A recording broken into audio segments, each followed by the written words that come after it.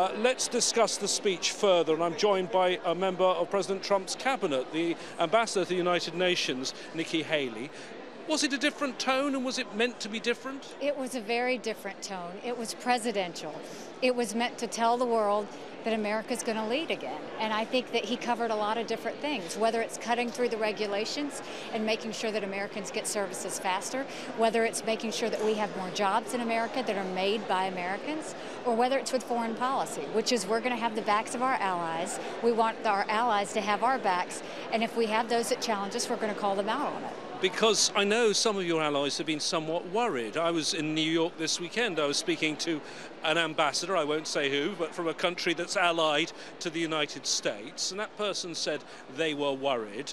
Does the president have to sound like this now going forward for the next four years and drop the campaign style Donald Trump? I think it's time for him to change the tone, and I think he did that tonight. His goal is to unify the country. His goal is to let the world know that we're for peace and security, and that also we want to make more allies. We want to continue to work on anything that we can that's going to bring peace and stability in the world, and I think he made that very clear tonight. So a reset I don't think it's a reset. I think what you're doing is you're starting with a new president and a new president that believes that America can be strong when we lead.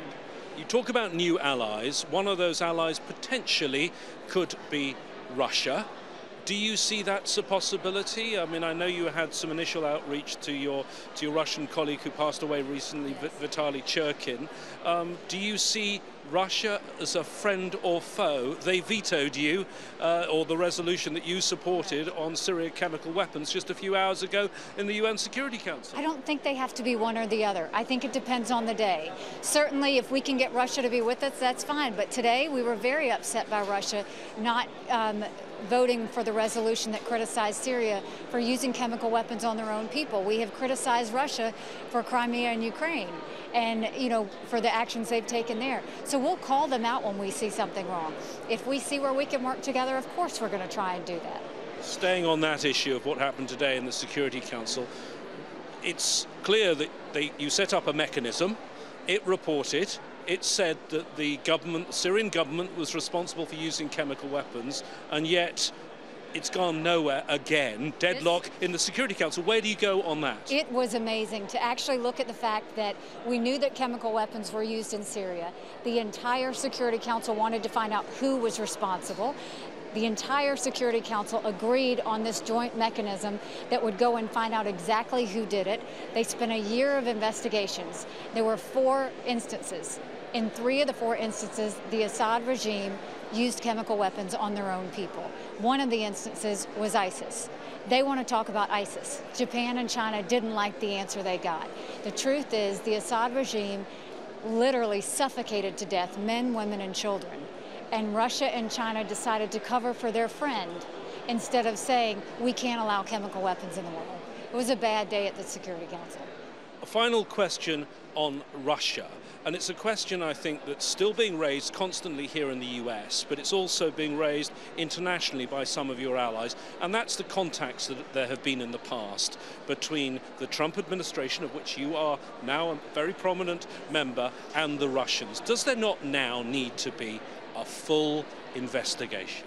You know, what I will tell you is my job is in New York. My job is at the United Nations. We have called Russia out multiple times for things that we believe are wrong. We are not afraid to do that, and we will continue to do that as we see fit.